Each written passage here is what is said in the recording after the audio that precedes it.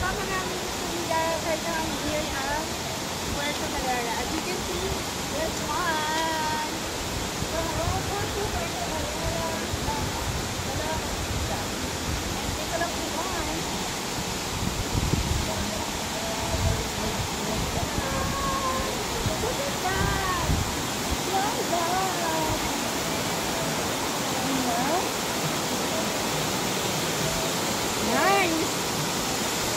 Philippines. I love Philippines.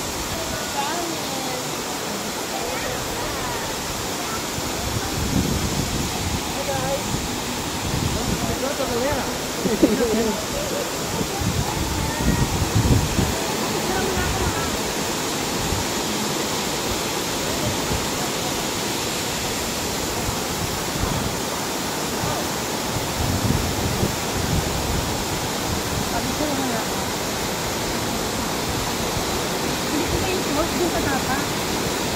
Huwag ka muna ano, nagpipicture ako.